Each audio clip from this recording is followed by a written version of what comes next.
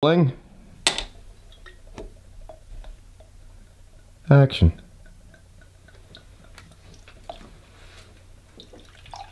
You got your free legal work from my firm now. I'm not going to be on your board of directors, too. I got a free legal work from your firm by going to Norman.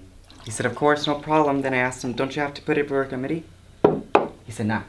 I'll just tell him we're gonna do it. Well, you got it. All I'm asking for is to use your name, that's it. You don't have to do a thing. There's an honorary board for the stationery. Ned, come on.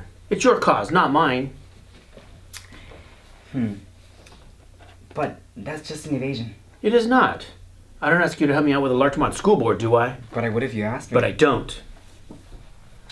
Would you be more interested if you thought this was a straight disease? It has nothing to do with your being gay. Well, of course it has. What else has it got to do with? I've got other things to do.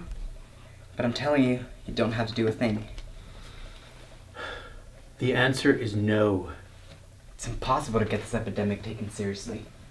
I wrote a letter to the gay newspaper the other day, and some guy wrote in it, There goes Ned Weeks again, hoping we all die so he can say I told you so. He sounds like a crazy. Kept me up all night. Then you're crazy too. I ran into a friend I hadn't seen in years on the subway, and I said, Hello, how are you? And he started screaming, You're giving all our secrets away, you're painting us sick, you're destroying homosexuality. And he tried to slug me right there on the subway under Bloomingdale's. Another crazy. And we did raise $50,000 at a dance last week. That's more money than any gay organization has ever raised in the city before at once. That's wonderful, Ned. So, you must be beginning to do something right. And I made a speech appealing for volunteers and got over 100 people to sign up, including a few women. And I got us on Donahue. I'm gonna be on Donahue with a doctor and a patient. Don't tell your mother. Why not? She's afraid someone's gonna shoot you. What about you? Aren't you afraid what your corporate clients are gonna say? Was that your faggot brother I saw on TV? Excuse me, this is a bad time. You seem preoccupied. I do? I'm sorry. Morning with the architect is enough to shake me up a bit. It's gonna cost more than I thought. More? Twice as much. Two million? I can handle it. You can? That's very nice. You know, Ben, one of these days I'll make you agree that over 20 million men and women are not out here on this earth because of something requiring the services of a psychiatrist. Oh, it's up to 20 million now, is it? Every time we have this discussion, you up the ante. We haven't had this discussion in years, Ben. And we grow just like everybody else. Look, I try to understand. I read stuff. I pick up magazines like this and I see pictures of you guys with leather and chains and whips and black masks with captions saying, This is a social worker. This is a computer analyst. This is a school teacher. And I say to myself, This isn't Ned. No, it isn't. It isn't most of us. You know the media likes to dramatize the most extreme. Do you think we all wear dresses too? Don't you? Me personally, no, I do not.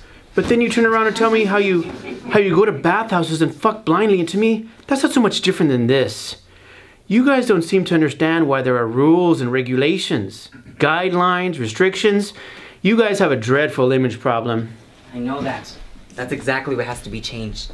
That's why it's so important to have people like you supporting us. You're a respected person. You already have your dignity. We better figure out where we're gonna have lunch and get out of here. I have an important meeting. Really? How important? I've just asked for your support. In every area I consider important, you have my support. And someplace deep down inside, you still think I'm sick, isn't that right? Okay, define it for me. What do you mean by sick? Sick unhealthy, sick perverted, sick I'll get over it, sick I'll be locked up? I think you've adjusted to life quite well. All things considered. In the only area I consider important, I don't have your support at all. The single minded determination of all you people to forever see us as sick helps us keep us sick. I saw how unhappy you were. So were you. You wound up going to shrinks too. We both felt pretty much the same about mom and pop. I refuse to admit for one more second that I was damaged by our childhood or you were not. But we all don't react the same way to the same thing. That's right. So I became a writer and you became a lawyer. I'll admit to the fact that I have a number of awful character traits. But I won't admit to the fact that whatever happened to us as kids automatically made me sick and gay where you say straight and healthy. Well, that's a difference of opinion we have over theory. But your theory makes me into a man from Mars. My theory doesn't do that to you. Are you suggesting it was wrong of me to put you into therapy so young? I didn't think you'd stay in it forever. I didn't think I'd done anything wrong till you put me in it, Ben. You know you mean more to me than anyone else in this world. And I think I finally found someone I like, I love. Can't you understand that? No, I don't understand. You got to say it. Just say it. I'm the same as you. Just say it. No, you're not. I can't say it. Oh, every time I lose this fight, it hurts me more. I don't want to have lunch. I'll see you. Come on, Lemon. I still love you.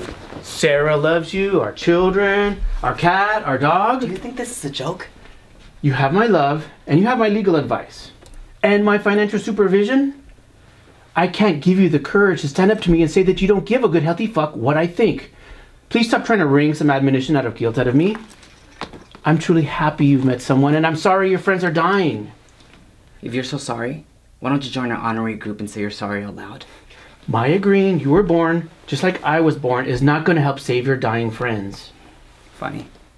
That's exactly what I think is going to help save my dying friends. Ned, you can be gay and you can be proud no matter what I think. Everybody is oppressed by somebody else in some form or another. Some of us learn how to fight back. With or without the help of others, despite what they think, even those closest to us. And judging from this mess your friends are in, it's imperative that you learn how to fight back and stand up so that you can be stronger than ever. Can't you see I'm trying to do that? Can't your perverse ego proclaiming its superiority see I'm trying to be proud? You can only find a place to call yourself normal. You make it seem as if I'm the enemy. I'm beginning to think that you and your straight world are enemy. I'm furious with you and with myself and every goddamn doctor that forever kept me from living a man. Two million dollars on a house? I can't even get 29 cents from the city. And you still think I'm sick. I'm sorry. I cannot speak to you until you see me as your equal, your healthy equal, your brother.